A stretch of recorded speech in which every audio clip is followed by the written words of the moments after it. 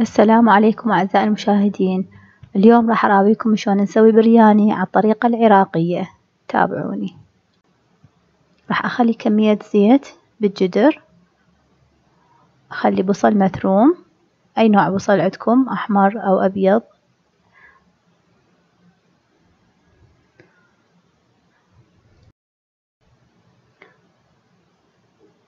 أحرك البصل بالزيت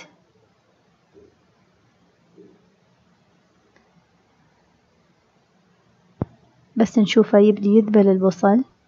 ما اريده ينحمس زايد.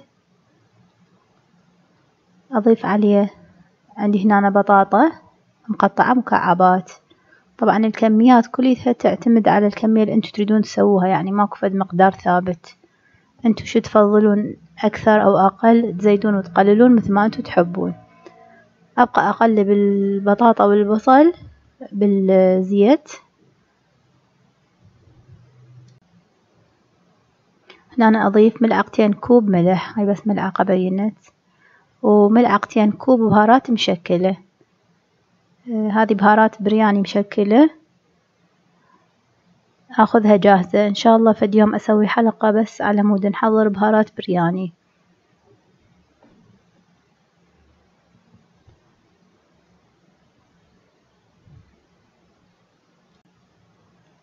نقلبها حتى بس نتأكد إنه توزع الملح والبهارات آه، على البطاطا.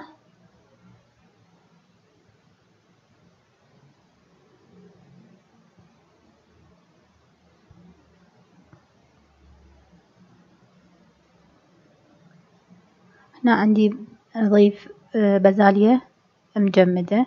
إذا عندكم بازاليا فريش بعد أحسن.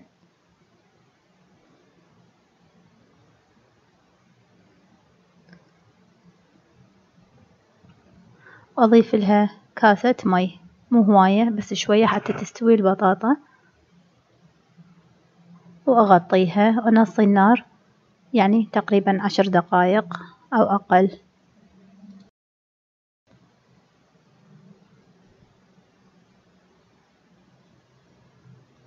هذه البطاطا استوت.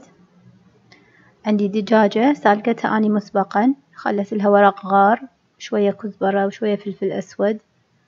لما تستوي أفلسها. أخلطها مع الخلطة اللي عندنا. طبعا تقدرون تستخدمون دجاجة كاملة تقدرون تستخدمون بس صدور تقدرون تستخدمون بس أفخاذ انتو اللي آه، تحبوه. وهذه الخلطة جاهزة. نشيلها على صفحة ونشوف شلون راح نسوي الرز.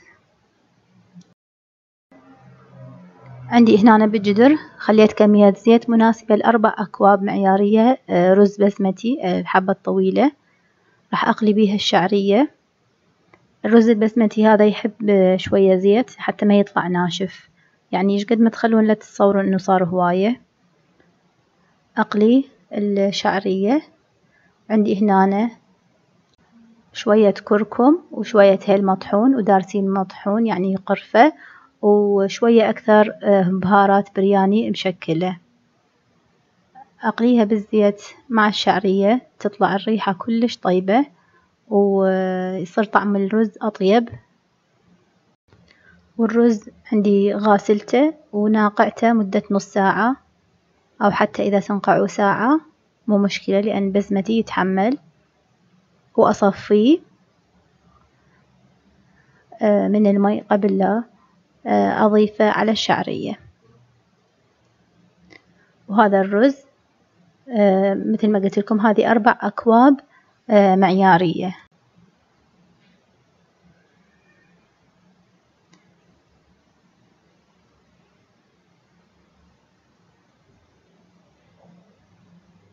أخلي له أربع ملاعق كوب ملح.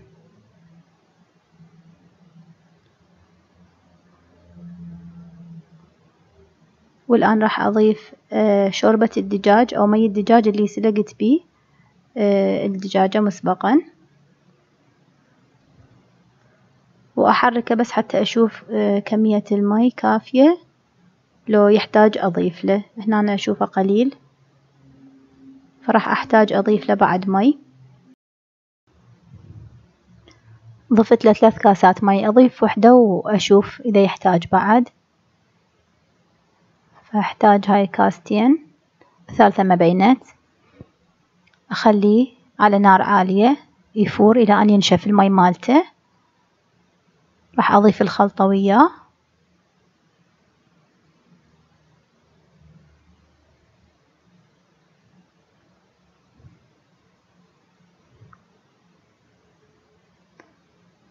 أغطيه. وخليه على نار هادية. نص النار طبعا ضروري كلش أخلي جوا نسميها إحنا مهداية أو هاي الحديدة حتى تتوزع الحرارة بالتساوي. الآن راح أحضر اللوز والكشمش عندي اللوز هنا أنا أستعمله هذا شرائح اللوز. كلش تصير طيبة ومقرمشة. وطبعا هي جاهزة أسهل من ما نقعد نقشر اللوز ونقطعه. شوية زيت وأحركهم إلى أن يصير اللوز ذهبي.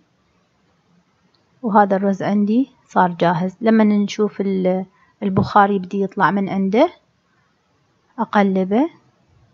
وهذا البرياني صار عندنا جاهز. وأكون أني محضرة بيض مسلوق ومقلي حتى أخليه آه، بالوجه. طبعا ريحته كلش طيبة وطعمه بعد أطيب. جربوا ويا رب يعجبكم. واكتبوا لي تعليق. وأشوفكم إن شاء الله بحلقة جديدة ووصفة جديدة.